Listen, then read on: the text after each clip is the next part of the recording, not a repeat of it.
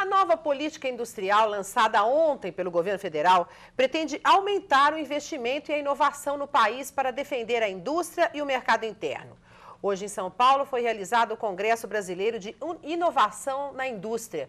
Para o ministro do Desenvolvimento, Indústria e Comércio Exterior, é mais um passo para a competitividade dos produtos nacionais a partir do incentivo à inovação. Preciso inovar, preciso botar o talento e a criatividade brasileira para trazer inovação tecnológica, inovação gerencial para as nossas fábricas, para as nossas indústrias e enfrentar a competição internacional que é cada vez mais acirrada. O mercado brasileiro se tornou um mercado muito atraente para mercadorias e capitais do mundo inteiro, nós temos que defendê-lo. Custou caro construir o que nós construímos, vamos defender.